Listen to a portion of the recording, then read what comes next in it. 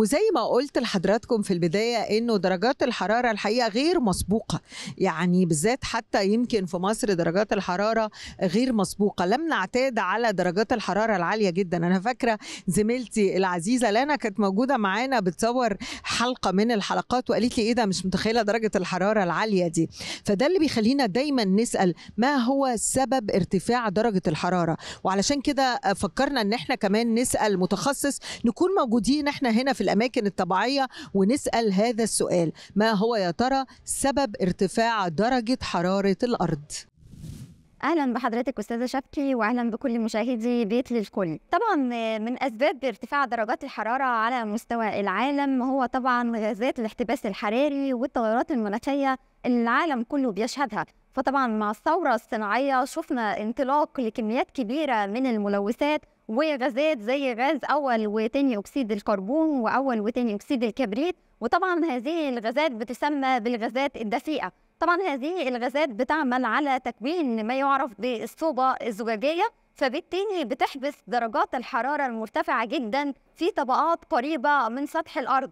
الطبيعي إن في عدم وجود هذه الملوثات أو هذه الغازات المفروض إن أشعة الشمس بتصل للأرض بتبدأ تمتص منها جزء وبتنعكس الجزء الآخر ويخرج خارج الغلاف الجوي. هذه الغازات الدفيئة وغازات الاحتباس الحراري بتعمل زي مظله فبالتالي بتيجي الأشعة تخرج للغلاف الجوي ما بتقدرش تنطلق نتيجة لوجود هذه الغازات فبالتالي بتستمر درجات الحرارة في الارتفاع والتزايد المستمر داخل منطقة الغلاف الجوي. فده بيؤدي لارتفاع درجات الحرارة بشكل كبير جدا على الكرة الأرضية بشكل عام. طبعا في أسباب كتير للملوثات زي الثورة الصناعية استخدامنا المفرط للملوثات استخدامنا للطاقة زي طبعا المواد البترولية ومشتقاتها والفحم ومشتقاته. ده طبعا بيزود نسبة الملوثات في الغلاف الجوي بشكل ملحوظ.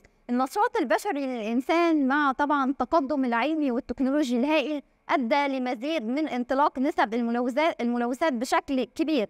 طبعا في أسباب طبيعية لزيادة درجات الحرارة وهي الموجات الطبيعية اللي بتحصل على كوكب الأرض وفي الغلاف الجوي. زي مثلا إن إحنا في فصل الصيف معروف إن نص الكرة الشمالي بيكون في صيف في نص الكرة الشمالي وبالتالي بيكون في ارتفاعات كبيرة في درجات الحرارة واللي بيسيطر بيسيطر على منطقة شمال أفريقيا هو منخفض الهند الموسمي اللي بيعمل على ارتفاع كبير في درجات الحرارة على منطقة الشرق الأوسط وجنوب وشرق أوروبا. دي بتكون أسباب طبيعية لارتفاع درجات الحرارة.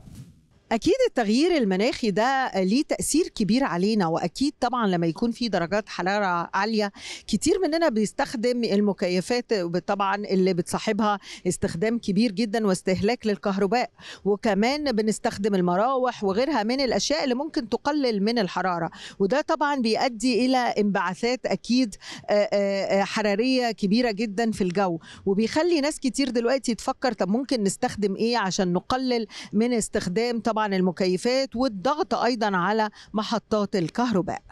ارتفاع درجة حرارة الغلاف الجوي بيأثر على جميع الأنشطة اليومية بيأثر على الأحمال والكهرباء بيأثر على جميع مجالات الحياة. فبالتالي ده موضوع مهم جدا لازم كلنا نهتم بيه ونكون حريصين جدا على المحافظة على إن درجة الحرارة ما توصلش أو ما تتعداش الدرجة ونص اللي المفروض إن إحنا نوصل لها مع حلول عام 2050 فبالتالي ارتفاع درجات حرارة سطح الأرض طبقا للتقارير اللي أصدرتها المنظمة العالمية للأرصاد الجوية والمنظمة الدولية لتغير المناخ ال IPCC فإن درجات الحرارة وصلت بالفعل واحد ونص وتخطت وتجاوزت وصلت إلى واحد وستة من عشرة. وده إحنا لسه ما وصلناش 2025 كان المفروض إن هي توصل واحد ونص أو تثبت عند واحد ونص أعلى من المعدل مع 2050 فبالتالي إحنا هنبدأ نشوف ظواهر عنيفة جدا في الفترة القادمة لو ما بدأناش كلنا نتحرك وناخد إجراءات ضد الارتفاع المستمر في الملوثات وبالتالي الارتفاع المستمر في درجات الحرارة ده هيؤدي إلى مزيد من المشاكل والكوارث اللي إحنا بنشوفها. عندنا الصين وتايلاند كان فيهم فيضانات عنيفة جدا الأسبوع الماضي وشفنا كميات أمطار غير مسبوقة وغير معهودة وأدت لفيضانات وتدمير للمنازل وتجريف للأراضي الزراعية. شفنا بعض الدول اتأثرت في أوروبا بدرجات حرارة غير مسبوقة زي عندنا آه، لندن وطبعا عندنا بعض الدول في آه، باريس ولندن وأسبانيا اتأثرت بدرجة حرارة فوق ال 40 درجة. ده طبعا ما كانش معتاد في الأعوام الماضية. أكيد العلماء عندهم توصيات وتحذيرات كثيرة ومختلفة من انبعاث الحراري اللي موجود في الأرض وأيضا توصيات للناس يقدروا يعملوا إيه علشان نقلل من هذا الانبعاث الحراري ونقلل بالتالي من حرارة الأرض. كل دول العالم لازم تبدأ تتحرك. خلاص الموضوع ما أصبحش رفاهية. تغير المناخ أصبح ضرورة حتمية. كل الدول بتشهده كل الدول بتقره. إحنا كأفراد بدأنا نشوفه في أرض الواقع بدأنا نشوف صيف غير معتاد شتاء قارس البرودة أمطار غير مسبوقة وأحيانا في بعض المناطق بتكون ما فيش أي أمطار نهائيا. فبالتالي أصبحنا لازم نتحرك كلنا كدول لازم يكون في قرارات ناتجة عن المؤتمرات اللي بيتم انعقادها. ومنها اتجاه إلى الطاقة الجديدة والمتجددة. لازم نتخلى تماما عن طاقة الفحم والبترول ومشتقاتهم عشان نقلل نسبة الملوثات ونقلل الانبعاثات الكربونية ونوصل إلى صفر كربون بحلول عام 2050 وبالتالي هنحافظ على إن درجة الحرارة ما تعلاش أكتر من اللي حصل دلوقتي. هي ما تعلاش عن الدرجة ونص اللي المفروض إن هي متوقعة أو إن هي حصلت فعليا الدرجة ونص. فبالتالي لازم نتجه للطاقة الجديدة والمتجدده والطاقه النظيفه زي طاقة الرياح زي طاقة المياه زي طاقة الطاقة النووية دي كلها طاقة نظيفة بتقلل الانبعاثات الكربونية وبتقلل الملوثات في الغلاف الجوي. فبالتالي هنحافظ على درجات الحرارة وارتفاع درجات الحرارة على كوكب الأرض. من العوامل المهمة أيضا هي المساحات الخضراء والتشجير. ده عامل مهم جدا لأن طبعا وجود أراضي ومساحات خضراء وتشجير بيقلل الانبعاثات الكربونية بيزود نسبة الأكسجين في الغلاف الجوي فبالتالي بيحد من تأثير ارتفاع درجات الحرارة وارتفاع الملوثات.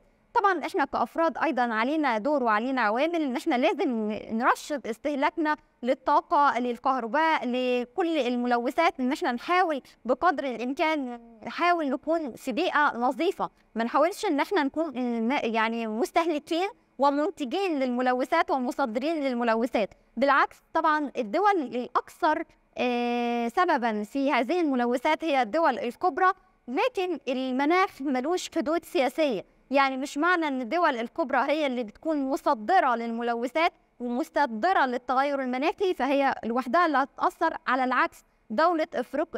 قارة أفريقيا من أكثر المناطق اللي هتتأثر بالتغير المناخي واللي بالفعل بدأنا نناشد الدول الكبرى في دفع التعويضات للدول المتضررة الدول الأكثر فقرا ودي موجودة طبعا في قارة أفريقيا لأنها تسببت بش... اتأثرت بشكل كبير جدا بالتغير المناخي. فلازم كلنا نتحرك في هذا الاتجاه علشان نحد من الملوثات ونحد من عوامل التغير المناخي. والسؤال الحقيقة اللي كلنا بنسأله ماذا يفعل الإنسان تجاه هذا الارتفاع الكبير لدرجة حرارة الأرض؟ سؤال بنسمع توصيات وبنتابع مؤتمرات ولكن طيب ماذا لو ظلت هذه الانبعاثات موجودة؟ وظل ارتفاع درجة الحرارة الأرض موجود. هل الطبيعة هتتغير؟ ما الذي سيحدث إذا لم يعني يتصرف الإنسان ويقلل هو من استخدامات كثيرة جدا حتى تقل درجة الحرارة؟ كيف ستصبح الطبيعة؟ لو استمرينا في نسب ملوثات عالية بشكل كبير وخاصة ثاني أكسيد الكربون لو زاد عن المعدلات اللي موجودة فعليا الآن ده هيؤدي لارتفاع كبير جدا في درجات الحرارة. المفترض إن إحنا كنا نوصل لدرجة ونص أعلى من المعدل للكرة الأرضية بحلول 2050 لو وصلنا لأكتر من كده لثلاث درجات أو أربع درجات ده هيؤدي لكوارث عنيفة جدا. والكوارث المناخية دي تعتبر كوارث طبيعية ما نقدرش نمنعها لكن كل اللي بنقدر عليه إن إحنا نواجهها أو نتكيف معاها. دولة زي أمريكا أو الصين دي من أكبر الدول ما بيحصل عندهم أعاصير أو فيضانات هو ما يقدرش يمنع الإعصار ما يقدرش يمنع الفيضانات. كل اللي هو بيقدر يعمله إن هو ياخد إجراءات علشان يقلل من الخسائر. إحنا أهم حاجة دايما بتكون هدفنا تقليل خسائر الأرواح. فطبعا تاريخ خسائر الأرواح بيكون ببعض الإجراءات زي إخلاء المناطق المعرضة لفيضانات أو لأعاصير. لكن إن هو يقدر يعمل مصدات تمنع ده طبعا مستحيل لأن دي ظواهر طبيعية. فإحنا لو إحنا استمرينا في ارتفاع نسب الملوثات واستمرينا في ارتفاع درجات الحرارة بشكل كبير إحنا متوقع نشوف ظواهر غير معهودة هيكون في تصحر وجفاف في أماكن كثيره من العالم فبالتالي هتقل الموارد المائية. الحرب الجاية حرب مائية حرب على الموارد المائية لأن هيكون فيها مشاكل كتيرة على مستوى العالم مش بس في منطقتنا أو في منطقة الشرق الأوسط. كمان هيكون عندنا بعض المناطق اللي هتتأثر بأعاصير وفيضانات والسيول وهتكون حده الظواهر الجوية أكثر بكثير من المعتاد. إحنا مش بس بنتكلم عن إن التغير المناخي بيؤدي لظواهر عنيفة لأ تكرار الظواهر العنيفة ده شيء مهم جدا إن هي تتكرر. بدل ما كنا معتاد عليها تتكرر 3 4 مرات في موسم معين تتكرر 10 أو 12 مرة ده شيء صعب جدا لأنه بيكلف الدول آه، إن هي تصرف مبالغ أكتر عشان تواجه الخسائر الناتجة عن هذه الاحوال الجويه المتطرفة. مش بس التكرار لا الشدة. شدة هذه الظواهر المتطرفة شدتها بتزيد بشكل كبير جدا. ممكن حالة واحدة تحصل تكون شدتها أقوى من عشر حالات فبالتالي بتؤدي لخسائر كبيرة جدا سواء خسائر بشرية أو خسائر مادية. فبالتالي لازم كلنا نتحرك ولازم كلنا نحد من تأثير تغير المناخ ومن الانبعاثات الكربونية ومن ارتفاع درجات الحرارة. مشاهدينا يعني بنحاول من الأماكن الطبيعية الموجودة إن إحنا نتكلم عن الطبيعة وبنحاول أكتر إن كلنا نعيش في بيئة صالحة بيئة نقدر نكمل فيها السنوات المقبلة نكون مع أجيال صالحة صحية ونقدر نتنفس الحقيقة بحرارة أقل للأرض. حاولنا في بيت للكل نتمنى أن نكون قد وفقنا في عرض آراء ونماذج وتوصيات وتحذيرات ونتمنى أن نعيش في مناخ صحي جميعا. من بيت للكل أشكركم وإلى اللقاء.